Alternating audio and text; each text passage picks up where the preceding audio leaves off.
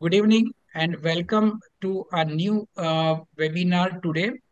Uh, today there will be a new kind of uh, talk delivered by uh, Pradeep uh, Thotekat. Uh, he is physiotherapist and he is going to talk on uh, recent advance in physiotherapy. I think we are seeing lots of patients of pain, different pain like uh, joint pain and back pain and uh, shoulder pain like that.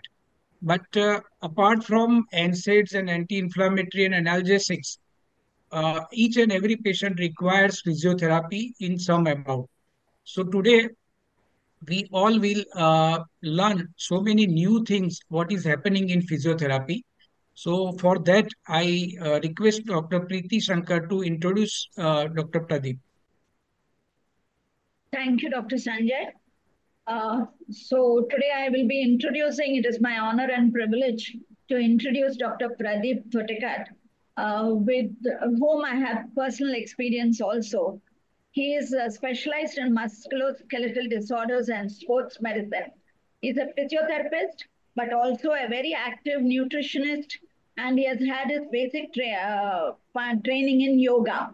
He has uh, graduated in 2009, and uh, he has is a proprietor and he is a physiotherapist along with his wife at Deep Physiotherapist and Wellness Clinic at Bangalore. He's uh, he's graduated. He was he is assistant professor of Padma Shri Institute of Physiotherapy from May 2021 till present. Manipal Hospital, he was sports physiotherapist, senior sports physiotherapist for a couple of years. And uh, now his additional experiences, Ramakrishna Mission Hospital of Mumbai, Khar, from 2009 to 2011. He has many scientific articles to his credit.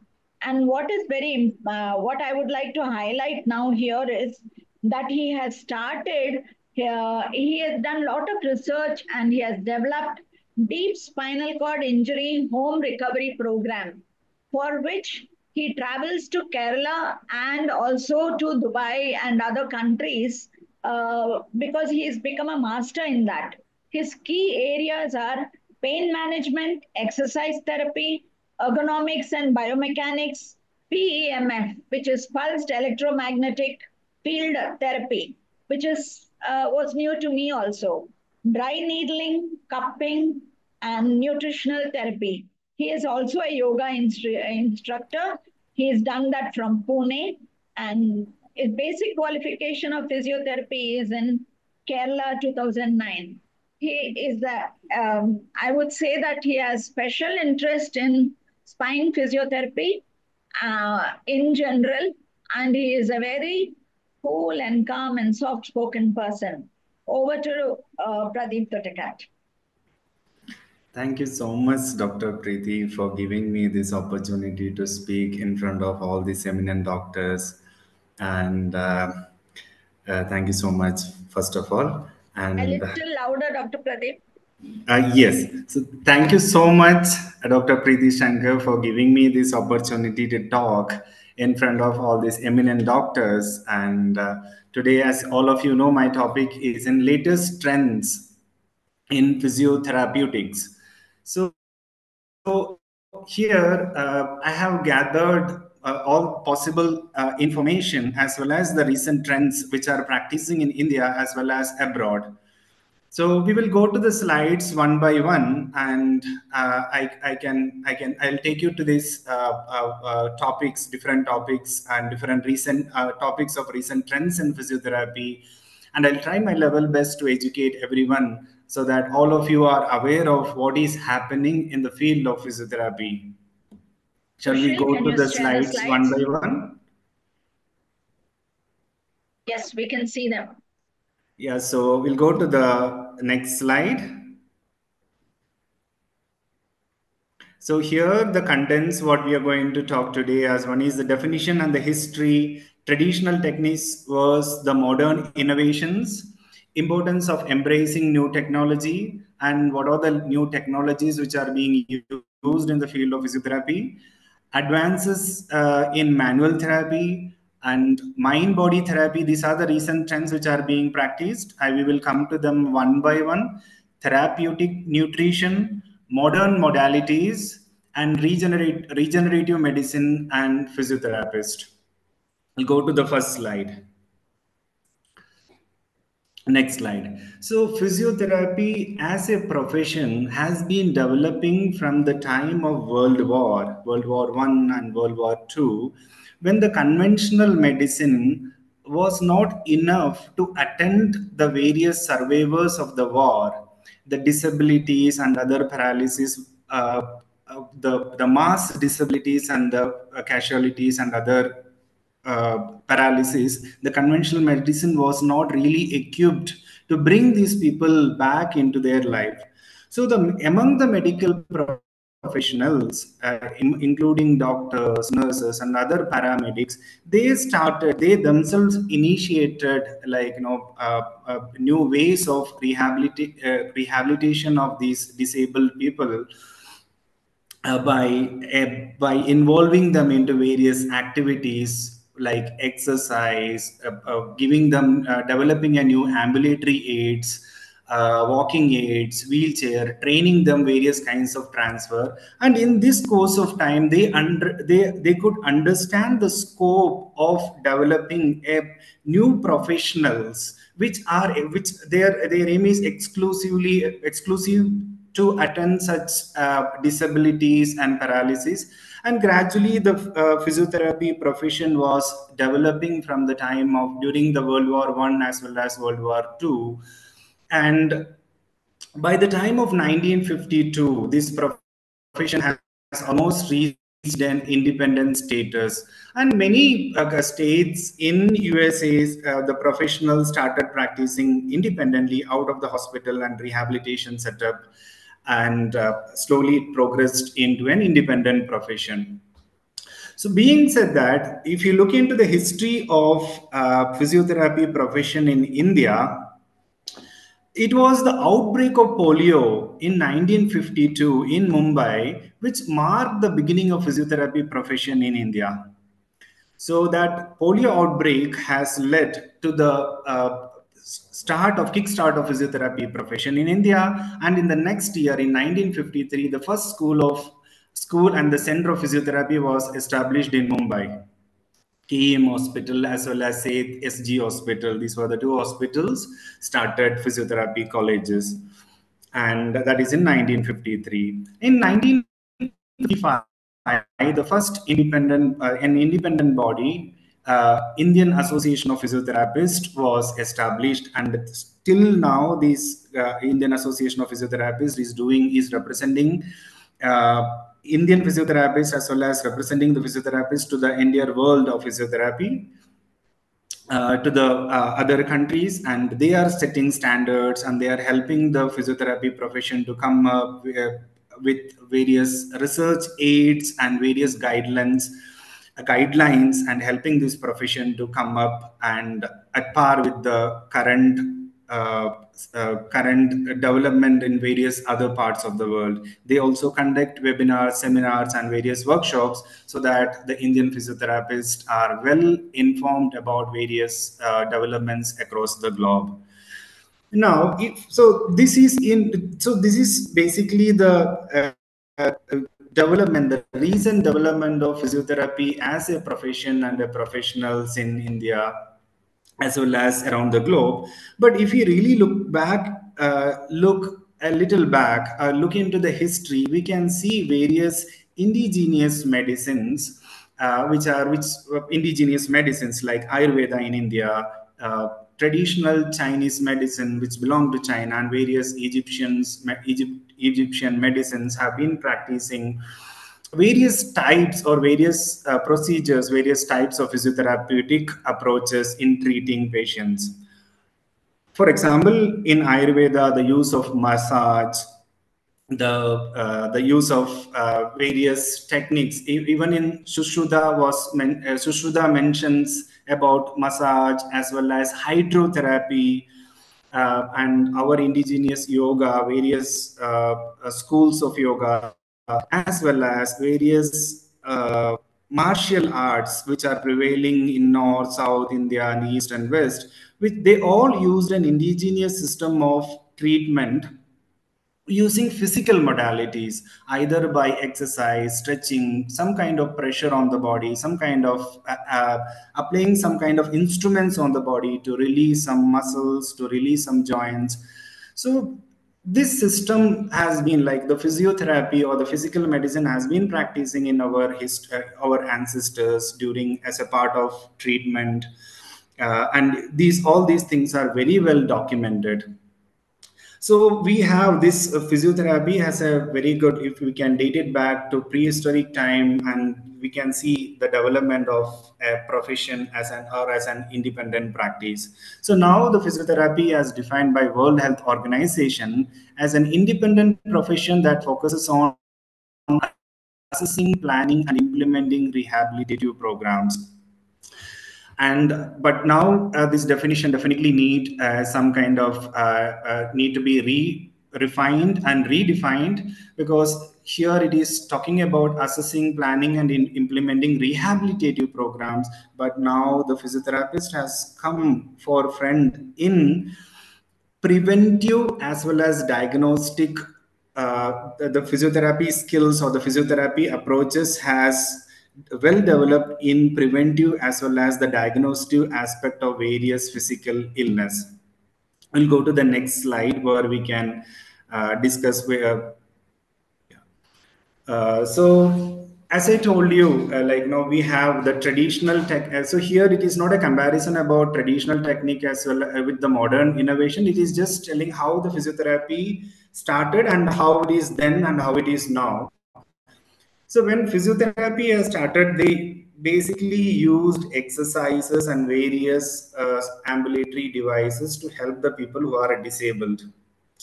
And uh, uh, they were using various manual therapy techniques like mobilizing a joint, uh, improving the mobility to improve the mobility of a joint. Various modalities they were using like ultrasound to, for pain management, various kind of stimulation like TENS, elect electrical muscle stimulation to improve the uh, uh, to maintain the tone of a paralyzed muscle either. So these are the conventional thing which has been used from the time of uh, when uh, from the time uh, i can say at least from the time the physiotherapy has evolved various stimulation ultrasound devices has been using for treatment. And most of the treatment were based like opd based or inpatient based or home based or clinic based but now, so these were the scenario I can say till at least 10 years back. But now, from due to the development of, uh, or especially during the COVID time and the development of artificial intelligence and various other technology, uh, the physiotherapy has gone into a different level of function and different level of delivery of physiotherapeutics or physiotherapy so now if I say about uh, like, you know, the current practice of physiotherapy, they are not only practicing from an OPD or an inpatient based, now there are various mobile applications the physiotherapist have developed by which the physiotherapist can monitor a patient from any part of the world. Like from my clinic, I can see the progress of a patient who is in USA or any other part of India whether they are doing the exercise properly whatever exercise they do they can uh, it can be directly monitored by a physiotherapist or guided by a physiotherapist with various mobile application which was not the case maybe la, maybe a 10 years before. Uh, now another uh, noteworthy thing is the evidence-based practice uh, which has come into the physiotherapy profession so as like any other profession like during the time of how it has evolved it has evolved through research development and whatever the studies have come and they started implementing the results of the studies into the profession. Same way, the physiotherapy has also uh, evolved through research and development. And nowadays, a lot of evidence, the practices are based on evidence, and it is giving a lot of confidence to these professionals to work with integrity and confidence to tackle various health uh, related issues to my personal experience like when the uh, like uh, uh, the profession during the graduation as well as during the post graduation. Graduation is a four and a half year course, and post graduation is a two year course. So, total it will come around six and a half years during graduation as well as during post graduation these physiotherapists are trained in doing research clinical research either submitting an uh, uh, they are supposed to submit a research paper as a part of their graduation as well as a post graduation so especially after a post graduation the physiotherapists are very well versed in conducting a clinical research so, uh, what has how this is helping the professional growth in India? Uh, in India is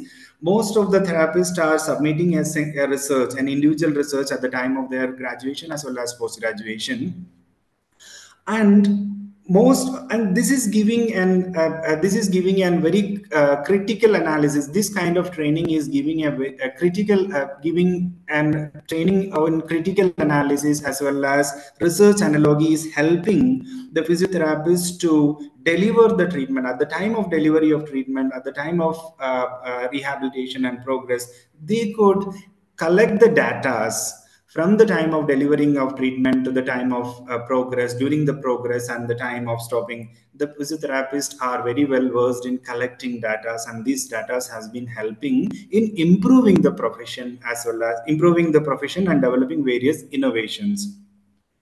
So i will uh, uh, fortunately i could publish uh, four papers uh, from 2015 16 17 and i'll show it in the next slide. So this itself uh, so i could publish papers only because of the uh, development of this profession in uh, in India because till uh, uh, what I understood before nine during the time of 1950s and 60s we were solely depending on uh, the for like US, Australia, and other Canadian countries. Whatever research has been published there, we were solely depending on these research papers and studies to practice in India. But now high quality researches are produced in India itself and, and many physiotherapists from India has become pioneers, pioneer trainers, and they have become international trainers and speakers and traveling across the globe and giving training to physiotherapists uh, all over the world. And there are physiotherapists coming to India from other countries to learn the techniques personally i have have developed uh, I, I could uh, travel to various countries like malaysia uh, kuwait and traveling still traveling across india to train physiotherapists in a special program called spinal cord injury rehabilitation. It is a home based program. How to rehabilitate a spinal cord injury patient and how to help how to help the spinal cord injury or paraplegic or quadriplegic uh, to recover at a home setup. This idea has come when i was working in manipal because uh, during the time when i was treating these spinal cord injury patients many of the patients uh, couldn't sustain or couldn't uh, uh continue the physiotherapy uh, because almost all the paralysis or the neuro cases may go for months uh, maybe one six months seven months or one year two year and most of these people were work from outstation. They come, they take a house nearby. In three, four months, they stop the physio and they go back to their native. One of the main reason is the financial constraints. So they were asking, or whenever they go back, they were asking what we can go and do at home. What uh, can you teach something by which we can have a similar progress at home? That has helped. That provoked me to develop a program by which not necessarily a physiotherapist, even any of the family members can learn this rehabilitation technique and can help that particular individual who is affected with spinal cord injury uh, to do uh, to do the recovery program and come up to different levels of independence. So uh, so uh, what I mean to say, the practice in India, uh, like you know, uh, the evolution of physiotherapy is in uh, the physiotherapy practice is evolving uh, like any other medical profession and it, we are setting standards to the other countries and uh, to the world and people are coming here to learn and other modern innovations i should say about the telehealth were as i uh, told you uh, earlier like we can offer remote consultations and through telecommunication technologies. So physiotherapists are able to communicate with uh, uh, patients around the globe, monitor them, guide them, and they are also appreciating Indian physiotherapy and their caliber. So this is just an introduction about from where the from where the profession has come and how it has evolved as an ind independent profession and what is happening like you know, uh, what is happening in Indian physiotherapy. Now we'll go to the next slide.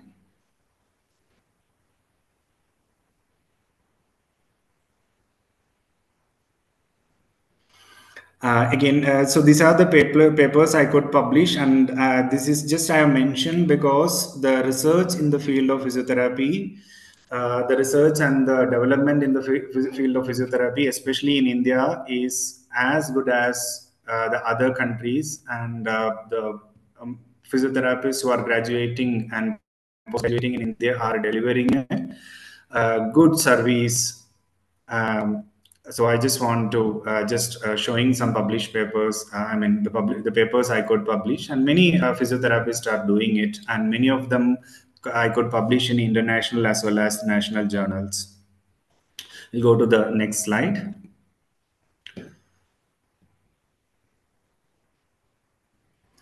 So uh, here uh, physiotherapist uh, or otherwise in general all the uh, these are like you know why it is important of embracing the new technologies because as we know the technologies are evolving like anything. From a uh, computer to the web world uh, from the internet world to the machine learning to the artificial intelligence and various uh, technologies are developing robotic devices so physiotherapy field is also embracing this technology and help of this technology, many of the treatments are delivered and uh, so at the time when we are delivering the treatment with the help of modern uh, technology uh, we could understand how precise it has become and how effective it has become. So it is just uh, just uh, this this is about how what is the importance of embracing this new technology and how it is helping the profession. So it has increased the precision of the treatment delivery. If i tell you i, I can tell you an example uh, the physiotherapists are widely practicing something called dry needling. These are small needles of 0.25 mm, and these needles are inserted into various tissues, especially the muscles or to the nerve endings or to various, uh, even to the periosteum, depending on the condition. So widely it is used as a trigger point release technique. So here the physiotherapist has to identify the trigger points with palpation and uh, they insert this needle and uh, there are various techniques. Sometimes we keep it there and sometimes we stimulate this needle with an electrode. Uh, now so so this we have been practicing since many years maybe 10 plus years or 15 plus years. The dry needling has come to the field of physiotherapy from last 10 to uh, last 15 to 20 years. But now what is the recent trend is happening we are able to put the needle precisely on that trigger point which is guided with ultrasound ultrasound imaging.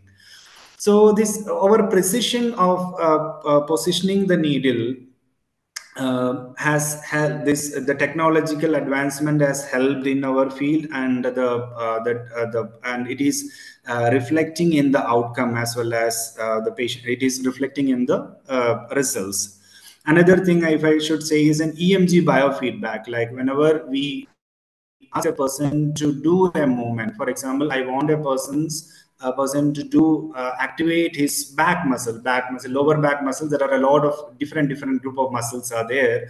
So uh, when we keep an EMG device on a particular muscle, and when we give the correct cues to the patient, okay, gently squeeze your abdomen or gently breathe out, we will be able to show that patient or the patient can get a real-time uh, understanding of he is recruiting the right muscle or not, which is very, very, very important in activation of core muscles, pelvic floor muscles, for especially in uh, in gynecological rehabilitation uh, the activation of pelvic floor, activation of the core muscles or abdominal muscle, post surgery, post delivery. It's very difficult. It's very challenging for the physiotherapist to make them understand how to activate. If suppose if I say about diaphragm, pelvic diaphragm, uh, if I say about the uh, transverse abdominis or like to, I to trans uh, to convert into the layman's language and make the patient understand it has been a huge struggle. But with such modern technologies we, we are able to give a real-time feedback to the patient. If the moment the patient is trying or attempting a movement he knows yes we are getting an idea that yes it's the right muscle is being recruited or it's the wrong muscle is being recruited. And by which the patient is able to learn by which is the movement they should do by which the muscles are engaging and they are getting and by which the uh, results are faster and better. Another uh, thing which is uh, helping the new technologies are helping is improved patient engagement. As i told you about emg biofeedback the engagement of the patients are better in such when we are using such technologies. And other technologies which we are using currently in india is virtual reality. Uh, we, in the coming slides we will come to know how these virtual reality physiotherapists are using to engage the patient to the patient engagement. So that there is a principle called active patient participation the patient when we when we make the patient when the active patient participation is the patient is engaging in an activity either a physio, an exercise or any kind of postural activities both mentally and physical attentiveness of that patient is is very important to get a result. So here uh, such technologies like virtual reality technologies the application of such technology is helping us to have a real time as well as a proper engagement of the patients and which is reflecting in an easy as well as a very effective outcome.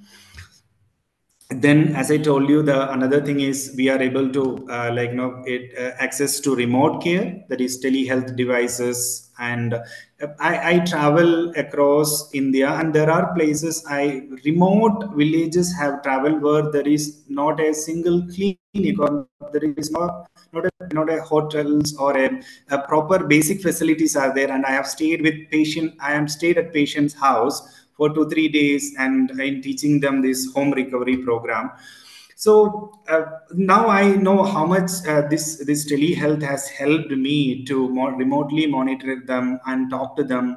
And i can see the confidence in the face of patients like when they are able to follow and when they are able to correct them through online they are doing the exercise at home. And definitely i should thank the new technologies and we physiotherapists are very well embracing this new technology. And another thing is what we are seeing as i told you faster recovery. It is due to like you know various technologies have come and which is helping the faster technology. We will come to the uh, various uh, uh things uh, in the coming slide like PEMF shockwave therapy near infrared iastm cupping these uh, these approaches or these modalities are helping us for a faster recovery and the rehabilitation time is coming or the treatment duration is coming down. And uh, these modern technologies this is, is very important to embrace the modern technology because it help it is helping us to uh, uh, to stay current and competitive uh, in this field as well as to the world among the physiotherapists among the other among the globe We'll go to the next slide. So here we are going to, so now the coming slides are about various technologies, what the physiotherapists are using in India. So there are various wearable technologies and uh, which is revolutionizing physiotherapy. As you know, like uh, nowadays, uh, you, most of the people are using smartwatches and other gadgets which can monitor health but uh, when it when it uh, but in the field of physiotherapy like you know the we can uh, there are little more precise or there are high precise instruments have developed in the field of physiotherapy and the physiotherapists are using it. Uh, which are something like activity smart garments. I'll, I'll i'm just these are the some examples which we are using in india as well as in abroad. Smart garments they capture the real-time motion data. For example, there are a special type of dress the, where the patient or that person who is going analysis, movement analysis called basically movement analysis, the patient or the person, the subject will be wearing it. And when the person moves his hands and legs, uh, so these movement will be converted into an hologram or converted into a 2D image and a 3D image. And we analyze this image and we try to find out uh, uh, what is deficient and what is wrong in that moment. For example, it is more helpful in uh, understanding, and it's not only help help in understanding dysfunction, it is also very helpful in uh, improving the performance of an athlete. For example, like when we do a movement analysis or a gait analysis or a running analysis, we are able to find out where this person is lacking, which is the technique, the uh, is the person is uh, whether the person is having any joint restriction in joint range of motion, the posture is correct. So such smart wearable devices are able to create an virtual body of the person at a 2D level and 3D level. And when we go through these videos, we are able to find the posture, the movement, the movement restriction, and this also helping us to develop a treatment strategy or a rehabilitation strategy for that particular individual. And another thing is activity trackers monitor daily steps heart rate and sleep. Like there are various tracking devices are there which is helping especially in the field of cardiopulmonary rehabilitation. Uh, uh, uh, the cardiopulmonary physiotherapists who are uh, specialized in cardiopulmonary rehabilitation they are able to track the patient's progress the how the uh, like you know there and based on the progress and based on these data which are collected we are able to slowly progress their cardiovascular endurance and aerobic endurance and again very well used in india. And uh, these specialists uh, especially the cardiovascular physio- cardiopulmonary physiotherapists are using those things as I, then the biofeedback devices provide feedback of muscular activity, small uh, feedback devices which are applied on the muscles, and we are seeing how much that muscle is being fired, whether the NDR muscle is fired or the firing is limited. What could be the reason of uh, uh, like you know restriction of that firing, muscle firing, and we are able to uh, improve the recruitment of the muscle fibers, and uh, uh, the exercise or the movement becomes very precise.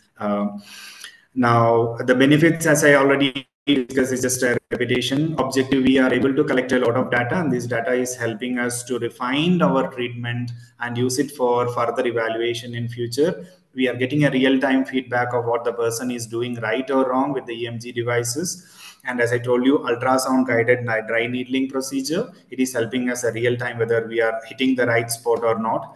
Remote monitoring and the main application of such devices are in the form of gait analysis and rehabilitation, post-surgical recovery monitoring, pain management, and muscle activation. We will see how it is being uh, done practically. We'll go to the next slide.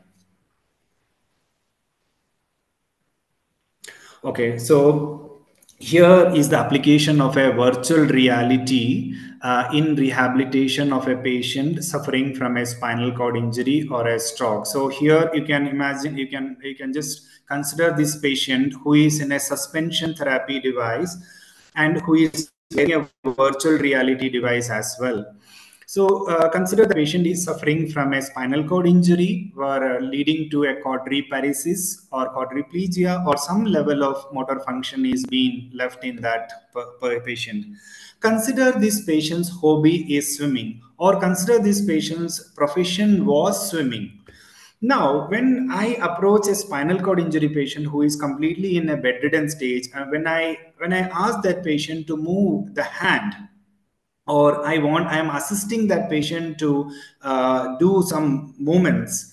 Uh, as, uh, like so these are very difficult for a patients to like you know maybe to understand because the sensory uh, because of the involvement of uh, sense uh, because the involvement of sensory nerves sensory nervous system as well as the motor nervous system they are completely deprived of all these sensations and they are not able to relate what i am and they are not able to execute the moment and it of course happens over a time now imagine i'm putting this person in a virtual reality environment where the person when they when they are, when they are wearing the virtual reality device they are going back here this person is a swimmer and we are taking him to a virtual reality of a swimming under the water.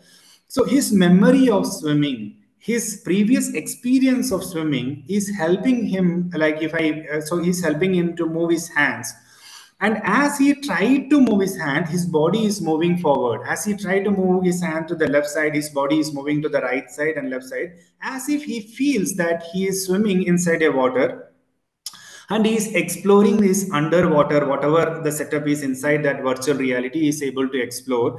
So here, the, uh, the, uh, the thing is, uh, here we are since it is creating a virtual reality here the patient is able to relate his uh, what he is doing. And in disguise we are getting uh, the active participation, which is the key in neuro rehabilitation or which is the key in neuroplasticity, the active participation of the patient mentally and physically.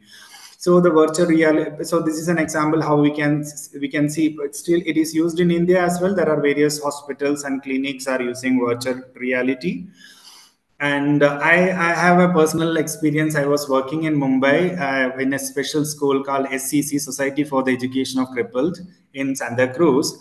In 19 uh, sorry in 2009 along with uh, uh, Mission Hospital I was working there in part time and I could buy one uh, video game. It is called Xbox Sony Xbox which developed something similar to virtual reality where I was dealing with small kids who are affected with polio cerebral palsy various birth defect where they don't know. So these kids of uh, for 3 to 15 years they are more uh, they like to rather than do an exercise with a physiotherapist so as i give them various uh, joysticks by which they can move their hand and they can see uh, their image on the screen and they are moving they are kicking a ball and they can see what is happening on the virtual reality screen is in front of them and it has helped them to engage in exercise, engage in activities, and it, it has produced a lot of results.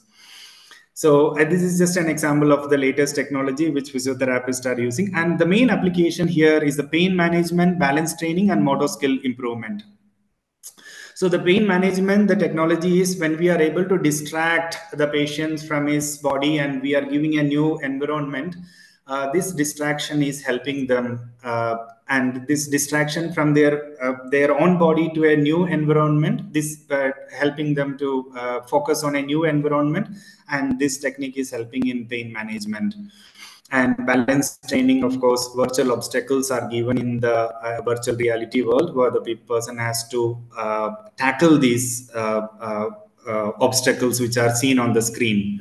Motor skill development as you can see the person is a paralyzed person and he is trying to swim. In this swimming he tend to move the hands in possible direction. So we are able to understand the potential which is hidden in that patient which otherwise is very difficult to uh, do a motor assessment of a spinal cord injury though we have scales to assess but it is very challenging. But with the help of new technology it is easy to understand not only to de uh, deliver therapy this kind of virtual environment help us to understand the potential of that uh, patient.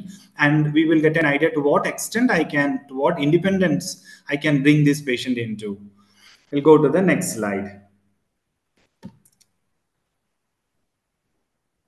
So then the other, uh, like like what virtual reality, the other innovations, what the Indian physics and as well as the physiotherapists uh, globally are using are robotics, artificial intelligence.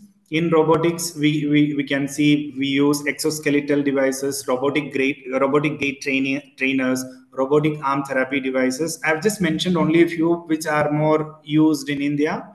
And there are various devices which are still uh, like you know as I as as we know the technology is developing globally and various things are still coming but uh, but uh, but I'm I'm very proud to say that Indian physiotherapists are able to understand this and uh, uh, understand as well as apply this technology in rehabilitation. And we will see in the coming slide how this exoskeleton will look like. So exoskeleton are wearable, they are wearable robots that support or augment the limb during movement.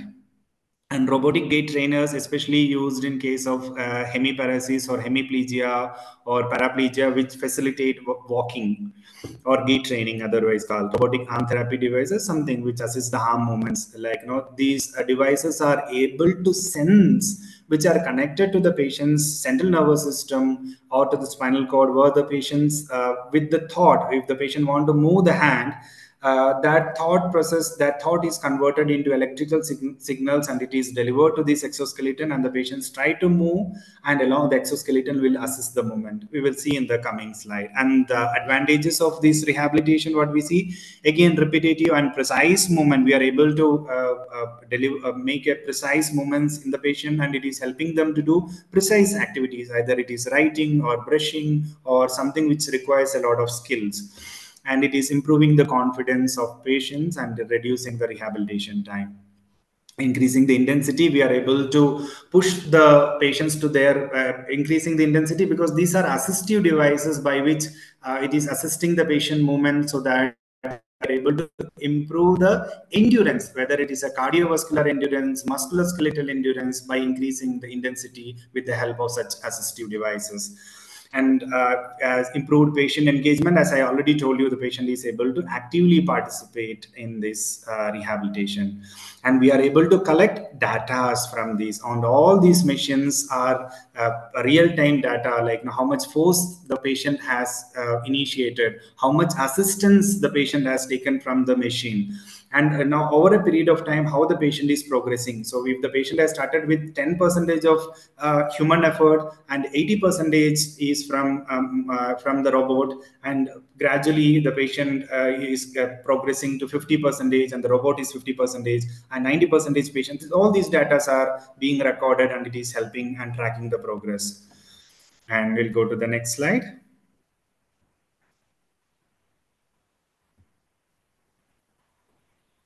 Okay, so these are the small videos of uh, whatever things so far we have discussed. One the, on the uh, one uh, when one the individual who is walking with a walking stick, he's he's a paraplegic. He's wearing an exoskeleton. Here, uh, when he uh, it's a robotic device. When this person is trying to move his right leg forward, there will be an assistance from the exoskeleton, which is powered by motor and uh, controlled by artificial intelligence.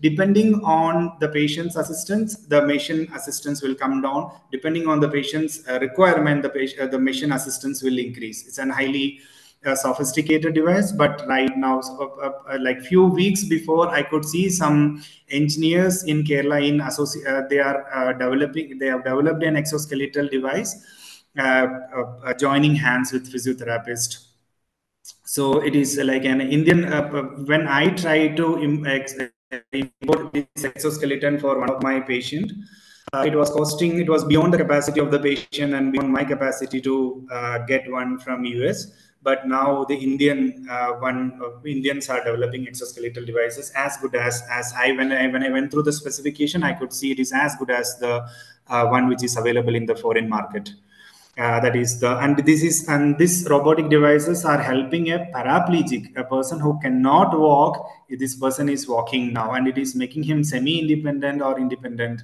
And this is a, a big thing i want all the doctors to know how this uh, how physiotherapists are helping this paraplegic and it is uh, helping the paraplegics to walk.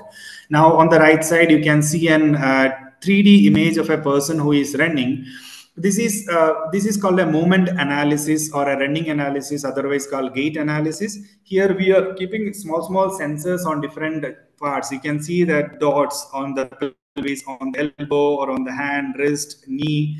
So these are the uh, dots by which uh, we we we apply it on the patient's body and make them run and these uh, sensors will collect these data and convert it in convert the, into a model like this. Like no it's a 2d model and a 3d model they convert. Here the uh, the uh, the physiotherapist analyze this movement and they are able to see the pelvic drop whether the pelvis is dropping to right side or left side is there any uh, movement disparity or comparing the right leg and the left leg? How is the knee flexion on the right leg and the left leg? Is there any movement restriction on the ankle so basically this helps to enhance improve the performance of an athlete. One of the application is this movement analysis help to improve the movement or performance of an athlete. Second thing this help to understand where the person where the uh, uh, at which joint level, at the hip level, or at the knee level, or at the ankle level, uh, the movement dysfunction is happening. Uh, so when we create such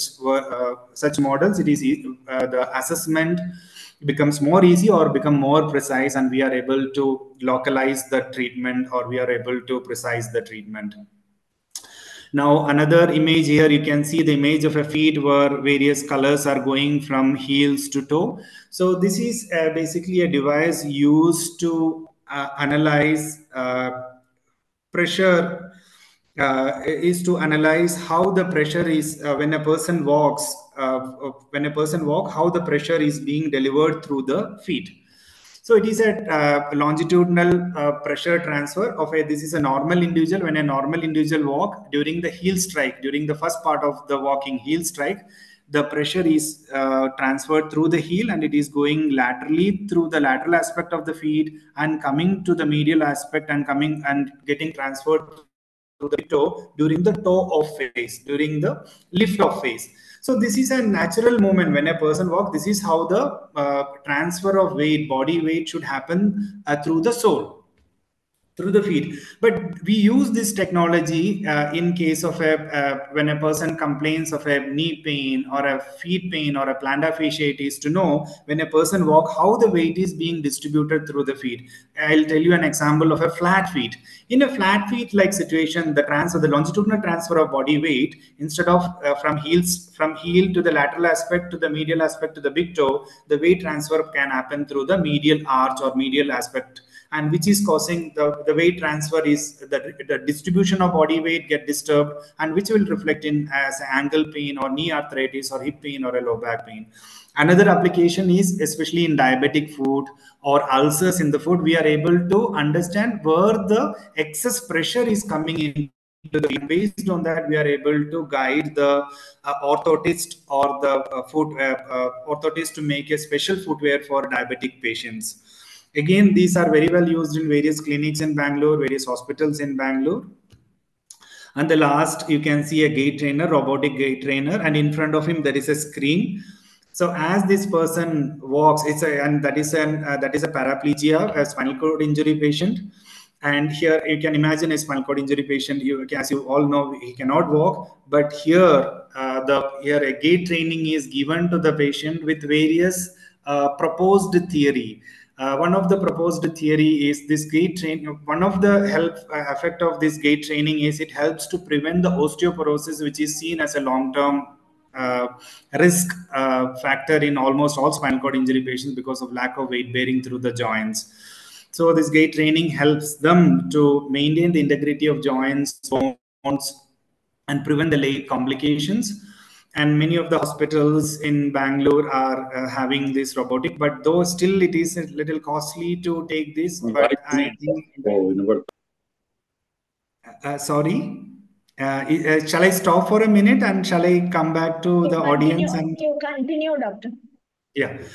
Uh, so here that person is walking into this uh, looking into the screen and walking and uh, it is uh, like prevent it prevents a lot of complications immediate as well as late complications which is seen in spinal cord injury.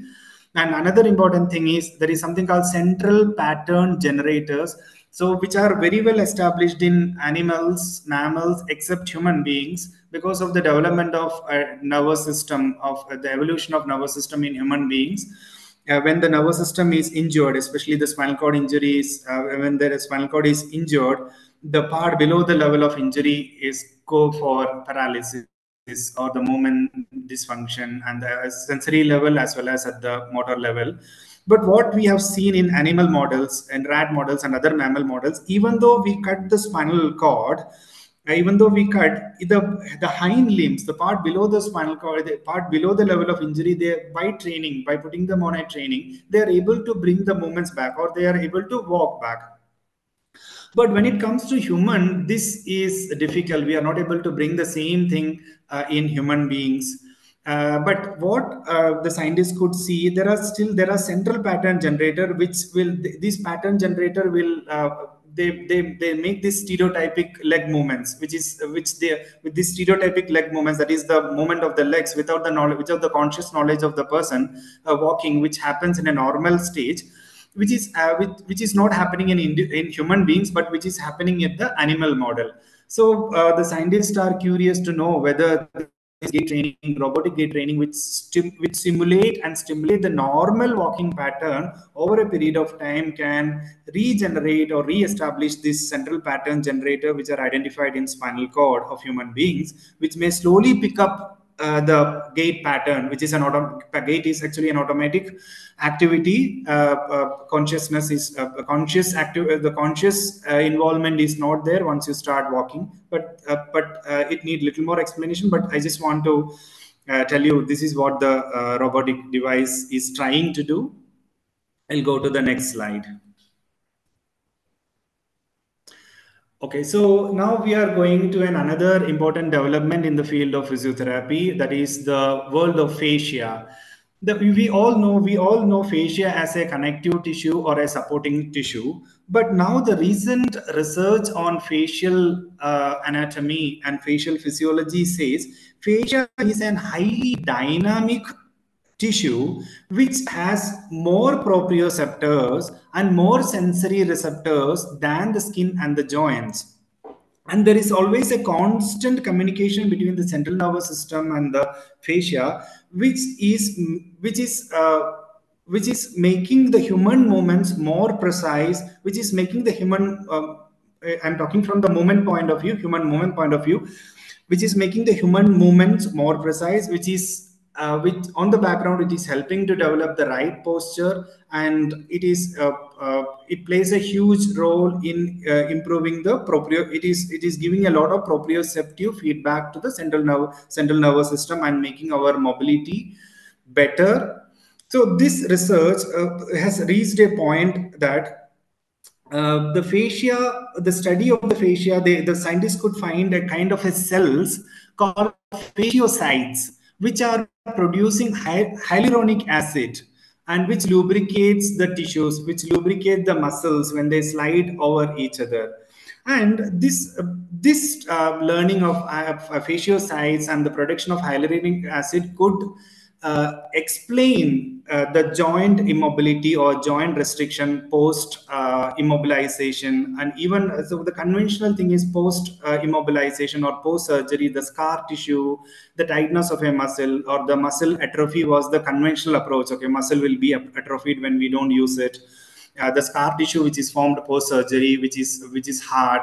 But the facial uh, uh, research says it's not only the scar tissue as well as the muscle atrophy is not the major thing which is restricting a patient movement which is which is preventing a patient to come back to his normal activity or function. It is the restriction of the fascia it is the restriction of the fascia is this uh, the various uh, which are destroyed, which are uh, they are not able to uh, come back or they are undernourished and uh, the stiffness among the fascia within the fascia and the various other connective tissues the skin uh, the fat tissue the muscles the periosteum uh, uh, the, the, adhesions among these structures are making the movement difficult and the recovery taking a long period of time so this understanding of the fascia and its structure has developed has led into various facial manipulation techniques I'll just play a video. Can you just play that video? Uh, that uh, uh, there is a. You can just play that video. Yeah, that's right. So here, this uh, here uh, that therapist is using an instrument to release the adhesions in the Achilles tendon, and the patient is suffering from plantar fasciitis. And uh, so here the adhesions in the Achilles tendon, which is causing the plantar fascia to get very tight and causing inflammation in the plantar fascia. So here the patient, uh, here the therapist is releasing the fascia in the Achilles tendon as well as the calf muscles, which in turn reflect in the uh, fascia. So here on the right hand side, you can see various instruments the physiotherapist use depending on the contour of the body, whether it is a neck, whether it is shoulder, whether it is a back, and these different uh, instruments has got different names as well. So and this is helping in restoring movements and improving movements after various surgical and post immobilization as well as it is also in general used in sports physiotherapy pediatric physiotherapy gynec physiotherapy and various uh, and even neurophysiotherapy. These are the recent things i could see. There are uh, physiotherapists from india they are taking patents and they are coming up with uh, various uh, uh, innovations and they are taking patents in that innovations and they are recognized by the world by, by in this facial manipulation technique. And uh, and so since we know the fascias do a, a, much bigger role than just supporting as a supportive tissue and even the research is saying the fascia can actively contract and relax like a muscle. So this help in generation of force within a muscle. If the fascia is not actively contracting and relaxing it in turn reflect the muscle activity and the muscle cannot perform. Even though uh, we see at the muscle, even though if we check the muscles individually or manual muscle testing, if we find five out of five, four out of five, but at the functional level or at the functional level means at the executional level, like walking, standing, sitting, the patient is not able to perform. So this facial manipulation is improving the patient's movement and reducing the rehabilitation and recovery time. We'll go and similarly, the uh, there are a lot of devices using facial manipulation. We will, I'll show you the other instruments what we use. Can we go to the next slide? Next slide. Yeah, so cupping is an another instrument. We use it for facial manipulation, a vacuum cupping. And the right hand side, you can see needling of the fascia and the particular sensitive tissue uh, to remove the adhesion, to break the adhesions, to remove the trigger points, which in turn reflect in the patient's movement and pain relief. And fascia being a very sensitive tissue, facial release helps the pain to helps in pain management and reducing the pain uh, like uh, like uh, never like before. Like uh, facial manipulation has helped uh, physiotherapists to reduce in, uh, to really help the patients in reducing their pain and improving their movement. We'll go to the next slide so then other thing is the application of mind body therapies in physiotherapy in physiotherapy basically the application of yoga tai chi and various uh, pilates like exercise program. Physiotherapists are learning. I myself learned yoga from an institute in lonavala pune uh, and i'm using yoga as a therapy to those people. Sometimes exercise doesn't uh, suit to all class of population. So yoga helping, uh, yoga various yogic asanas are helping in rehabilitation, improving movements. So that is the mind body therapy. And moreover, when it even mind, why it is called mind body therapy, we are able to induce a lot of relaxation among the participants, uh, among the patients and here as we know uh, uh, like the, the most of the patients who are in pain or who are in kind of a they are always they are in a they are their their sympathetic tone is on an higher side or they are in a fight or flight response. They come with an hypertonic body. The muscles are not relaxed. So introducing such therapies mind body therapy breathing exercise pranayama are helping uh, them to calm down the nervous system or activate their parasympathetic system and uh, bring relaxation. And this is also helping physiotherapists to uh, uh, in the in the field of rehabilitation. And um, yeah we'll go to the next slide. I'm just going fast because i know it's 10 o'clock. So uh, i'll just sum up in a few slides. And uh, maybe if you have any questions we can or if you want doctor if you want to stop me and continue in the next session i am okay with that because my whole intention is whatever i am telling it should be uh, it should reach all audience. if it is few more uh, slides only you can complete oh i think uh, there are uh, yeah i need to know which slide. Yeah i think it is only few more slides. Yeah. You uh, can yeah i think it's almost briefly. yeah it is but almost, how long will you take? Uh, maybe Dr. i Pradeep, think how long you will take? I think doctor maybe in 10 minutes i will be able to finish. You can uh, you can touch upon the topics briefly. Yeah. So i'll just go through the topics briefly because all these are though it is uh, like you know innovations i need sometimes i need to talk in detail so that you understand. So uh, this is the another thing which is happening in the physiotherapy really is application of uh, therapeutic nutrition which is helping in enhanced tissue repair improve the energy level of the patient, reducing inflammation. There are we develop anti-inflammatory diet and give it to the patient, which is helping in along with the other anti-inflammatory medicines they are taking and helping in overall well-being of the patient. So therapeutic nutrition is really helping in the field of physiotherapy. And go to the next slide. So these are the modern modalities again, which is come uh, recently, which has come into helping in reducing the pain, which is called a pulsed electromagnetic field, a wonderful device which helps to stabilize, uh, which cellular level, stabilizing the uh, uh, membrane potential of a cell, so that the inflow and outflow of the nutrients and metabolic waste are re-established in those tissues which are injured. Uh, we will talk about this technology in uh, maybe in the in the future in the future talk if possible. But this is a very wonderful device helping in uh, inflammation circulation and uh, uh, bone healing and various tissue healing especially in uh, those tissues which are not healing ulcers chronic ulcers. Go to the next slide So another thing is red light therapy, otherwise called near infrared. You would have heard of infrared, but here uh, it is near infrared. The nano, uh, the wavelength is different around 650 to 850 nanometer wavelength. This is this is also works at a cellular level where the mitochondria are being manipulated or being influenced by the presence of this sunlight, by the presence of this infrared light. Especially the cytochrome oxidase are being activated and the ATP production is enhanced. This will correct the uh, energy crisis in a cell which is trying to repair itself. Many of the cells which are repairing, there is an energy crisis, and the application of near infrared is helping the tissues to heal. This is again a recent development. We'll go to the next slide. Shockwave therapy, it's a very recent uh, application of uh, high intensity sound waves, uh, especially in treating heart tissues or heart connective tissues like plantar fascia, Achilles tendon, uh, like heavy, like strong connective tissues.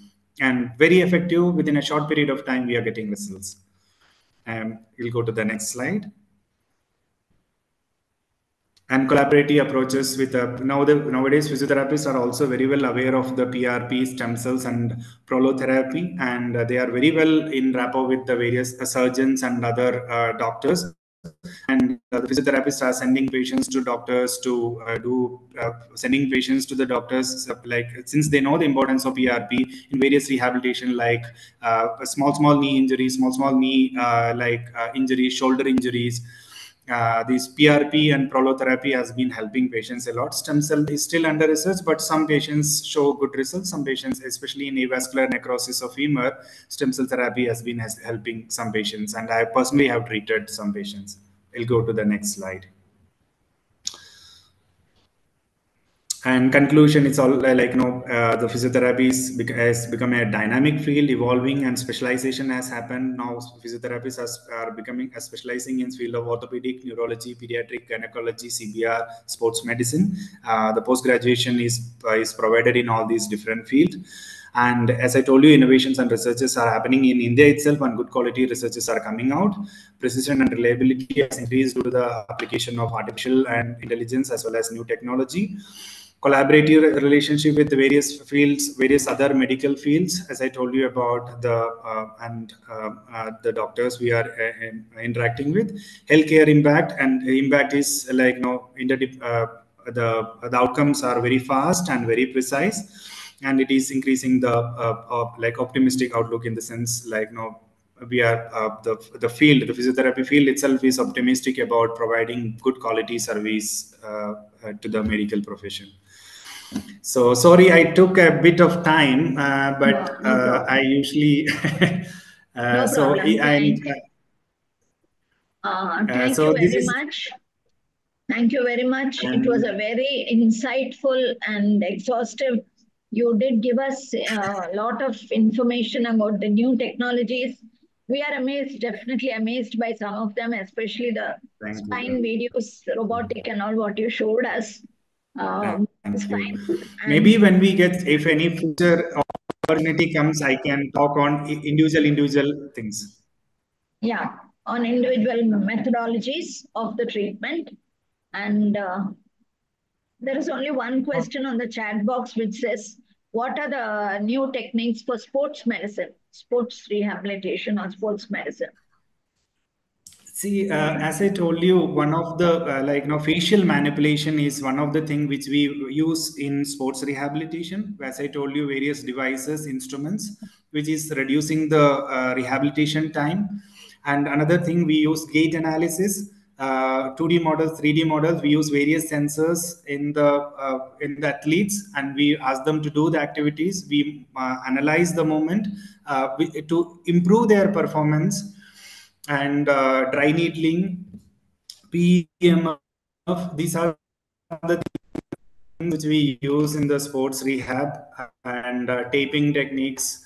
Uh, there are uh, these are the current trends, which all requires an explanation how it works. But uh, these are the latest I, things. I get your point.